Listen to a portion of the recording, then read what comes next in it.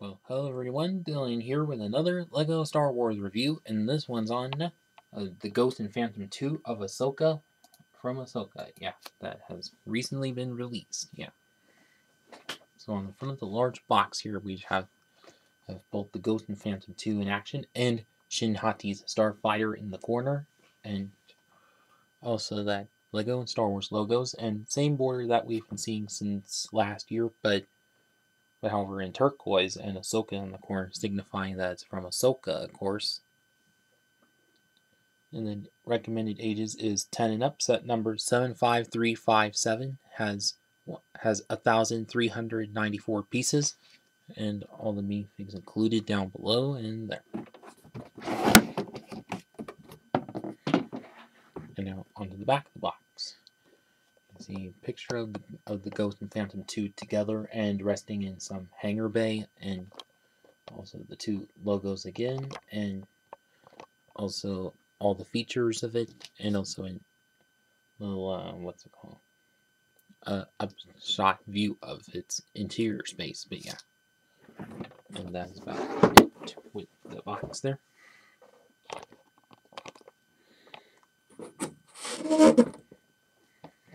And now onto the instruction manual, which kind of odd CGI rendering of it like we've been seeing on all the manuals since last year. And then add for the transition to paper bags and add for the builder app. Then on the back side, how to win on the online survey. Then all the pieces that come with the set and then which is three pages and then all the sets of this current uh, wave of course. Well some of the sets that is. And then the last building steps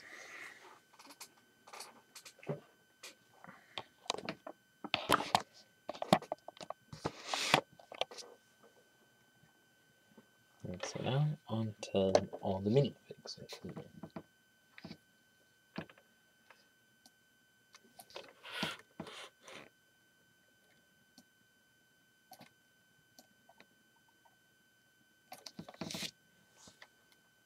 So first of which we would have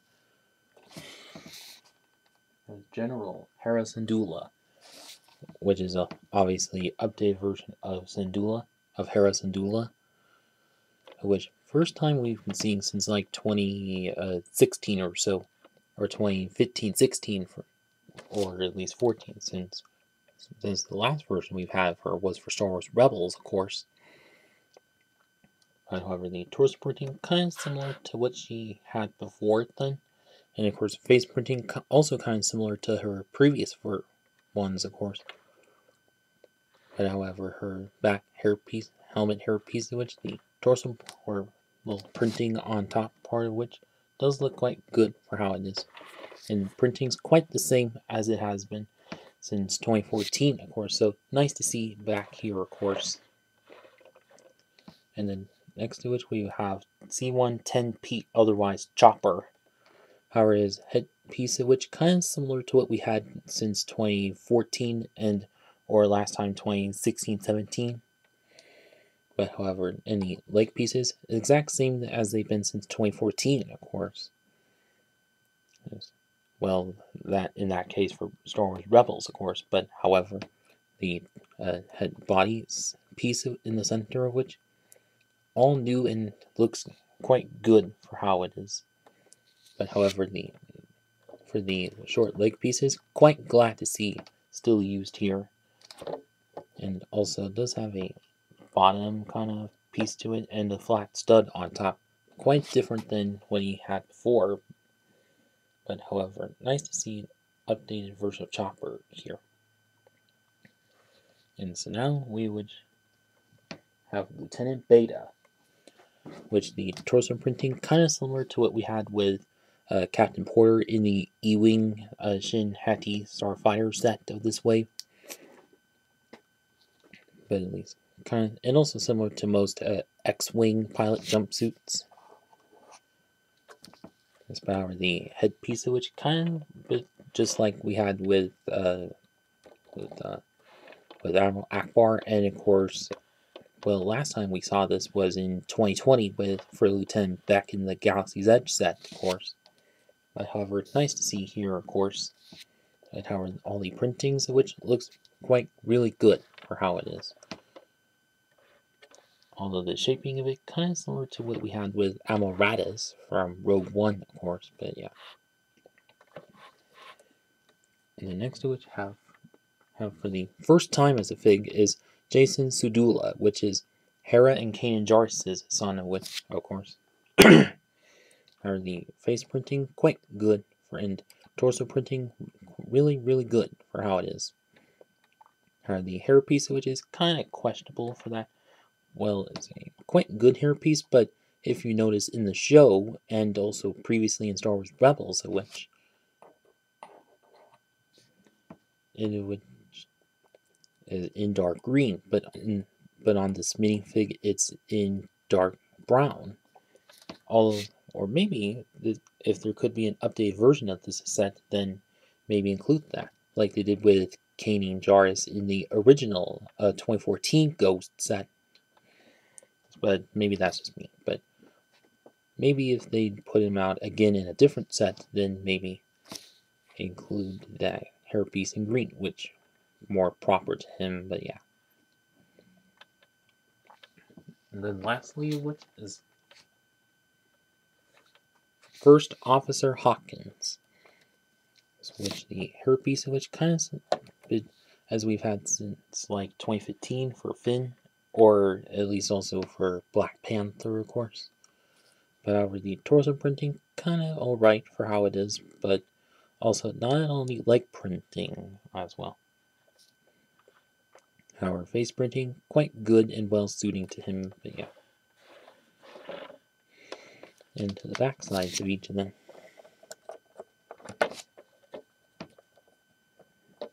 And whereas both Hera, Syndulla, Hera and Jacen Syndulla, which only ones that have back face printing, and also all the rest do have some good back torso printing, and whereas uh, Chopper's uh, back head and torso printing also all looks good for how it is.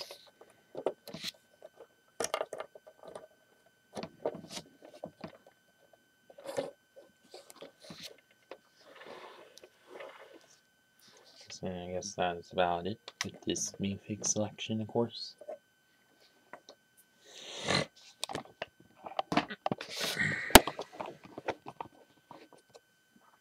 So first up for the builds is the Phantom 2.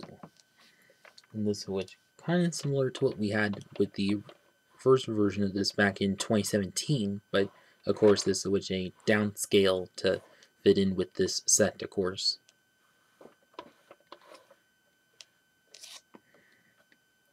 Whereas for the front part of which is comprised mostly of like jack of curved slopes, with one of which that has a sticker on it, of course. So there's plenty of stickers throughout this set, of course.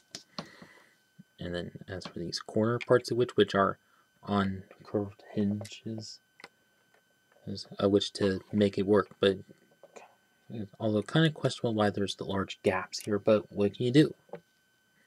And also do have those kind of modified T-bar pieces, but used as blasters of which but you don't get any blasters on this set like the other two versions of it did.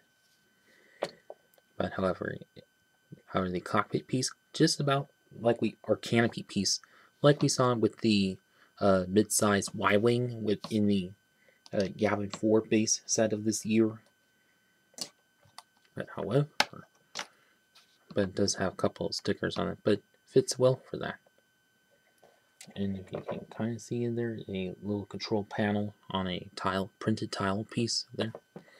And of course you can flip this open and just enough space to fit your oh, a Jacen minifig into which on the box cover is like that. And yeah it does well work out for him. And then on the sides part of which have those kind of ridge pieces and going down to a tile and also to one bit of, the only bit of another snot bit which has those large curved kind of bricks, but on the sides, which nice to see there. And then as for the top wing fin, which does have this nice uh, stickered brick onto it, uh, which just about like the early 2017 one also did nice to see there. But also, as for the other side of which there's one bit of asymmetricality, which is on this spot and this spot. But there is a reason for that. Which if you take Chopper and take his head off and then just plop it onto there. Just like so. I was representing when Chopper's on it, it and part of it. So it's kind of like the early uh, V-Wing sets where you just had to take the uh, astromech droid's headpiece off and put it on to the, there. Although what I would suggest is maybe just like the Jedi Interceptor sets and all the other sets, most other sets, is just figure out how to have a large open space to fit the Chopper into, or just have a space to put him into, like both Phantom 1 and 2, of course. But as for the back side of which, does have a cheese slope, but with a sticker on it, of course, and also a little bit of greebling with the uh, gold bar piece in white, and also a little bit of thrust on the back side, which, and also have this little uh, chest area which you can slide open, and also a couple space to fit both a blaster and a uh, little uh, binocular piece into, of course. So this one overall, quite good for how it is. Well, nice, few good updates from the original 2017 version of it, but, oh, but, but of course, why scale down like this, which we'll see later, but yeah.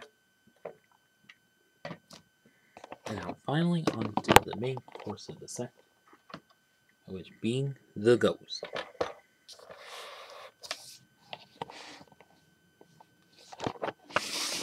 Oh, hang on.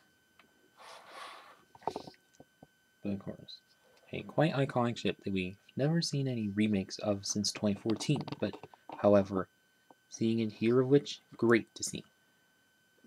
And of course, although there's a few spots that have been updated, which I'll go soon go over, but however, nice to see here, but yeah.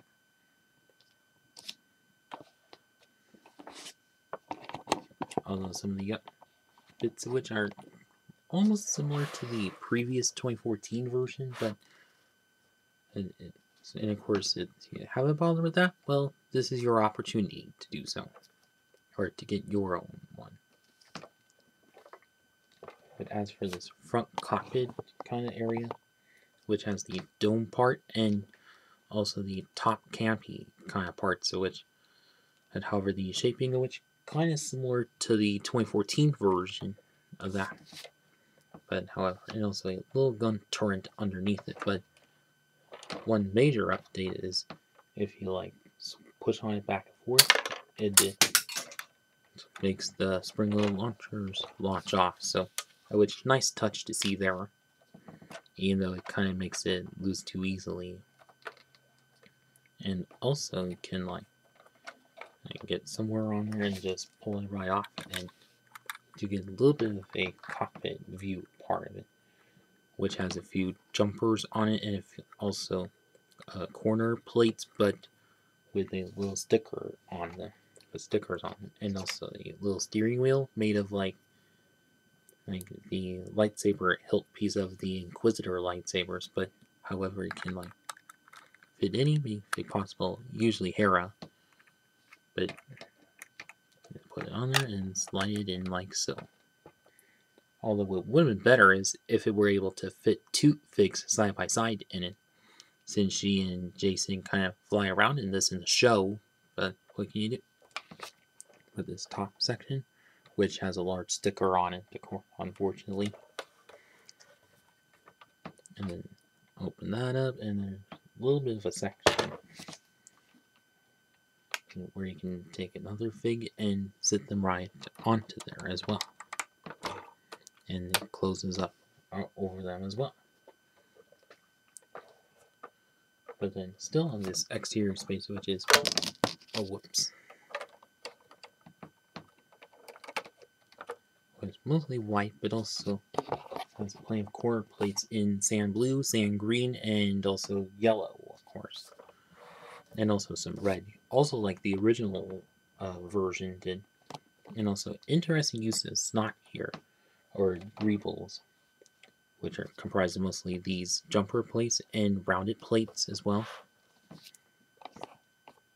And then further down have a like a paint roller piece used as a, uh, a greeble detail. Very nice to see there.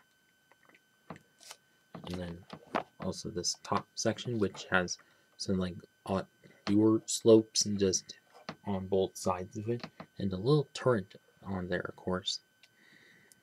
So I have interesting technique with these, both these uh, corner plates and this uh, curved slope there, and also a couple of interesting builds for the escape pods. But unlike with the 2014 one, you can't. They just don't pop off and act as escape pods. Kind of unfortunate there, but whatever. But underneath the winch have this spot that pulls down and is a boarding ramp. And it kind of acts as a boring ramp. Well, if you had nanofigs to do so, then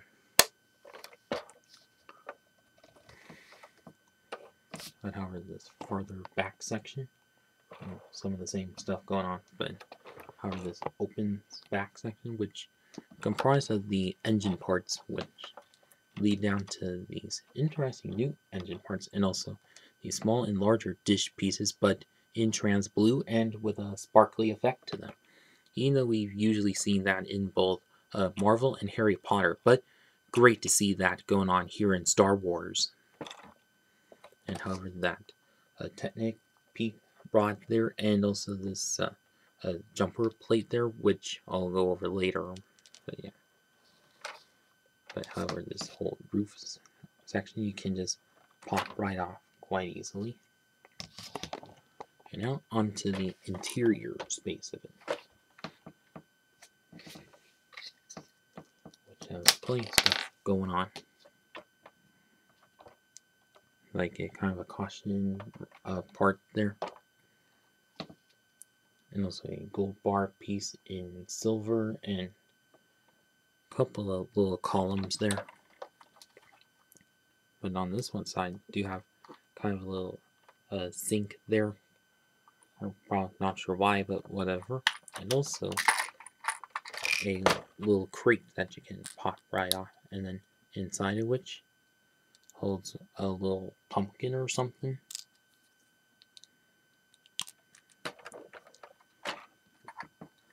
Well, well, it's Star Wars, not sure why I do so.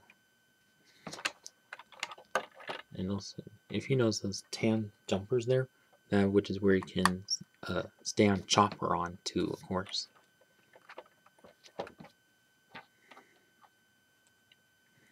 And also how spacious it is uh, quite spacious, like the original one and the Millennium Falcon set, of course.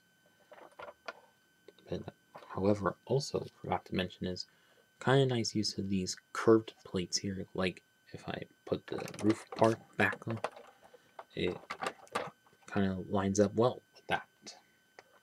Oh, also forgot to mention is for this top roof section, I think.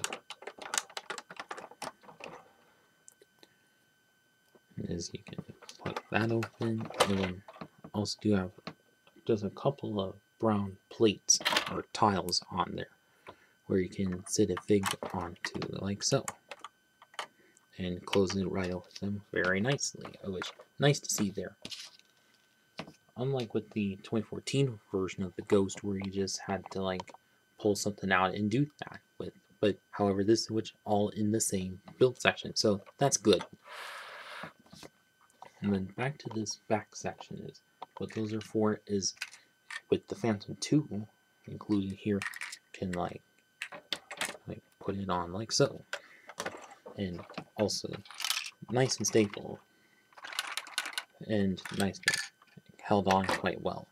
Almost just as much as the original uh, uh, Phantom 1 and 2 sets to the original Ghost set but however in the case of this one it is rightful and scaled for that, which nice, great to go on there, even though in the original Phantom 2 set on the original Ghost set didn't seem to work out quite well, but whatever.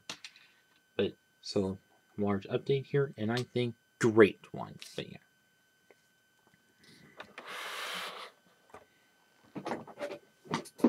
And so now on to the final verdict. So overall, I think this is a great set. Like, great to see both the Ghost and Phantom 2 again. Well, first time in a decade, or in less than a decade for the Phantom 2, that is. And also great to have both Hera and Chopper again in a set as well. And also nice to have Jacen Syndulla as well. And, and as for the price per piece, which is uh, quite good for how it is, even though it may not have as many figs as the Yavin 4 base set of which, but at least some bits of which still worth holding on to, and, and of course some features of which which may be similar to the original Ghost, kind of a, different than the original Ghost set, but however they're still there and kind of, and that's well what matters, but yeah. And also nice to see another mid-scale uh, sized vehicle with the Phantom 2 set, which hopefully they might do some more in the future, but yeah. And also as for the size, uh, which also quite good for how it is, you know, it may be almost as much as the Yavin 4 base uh, set of this wave, but you know, uh, of course, nice and sturdy and also well compacted and everything, but yeah. And of course, this switch, and of course, some bits may not be as similar to the original Ghost set, but at least, unless if you can just wrap your head around it a bit and start getting used to that. But then maybe this will grow on you. But yeah. And so now if you've completely missed out on the original Ghost and Phantom 2 set, well, definitely get this set. And if you're looking to continue your uh, Star Wars collection and have this for the Ahsoka side of things, then definitely pick this up. And if you got the money to get this set, then also definitely pick this up. But yeah. And if you and and thank you for watching and please like, comment, share, and subscribe and thanks for watching.